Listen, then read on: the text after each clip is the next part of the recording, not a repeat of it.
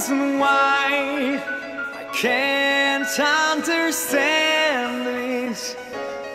Open your mind, we can understand it. Please let me know if you know this is the end of the world. Let me know if you.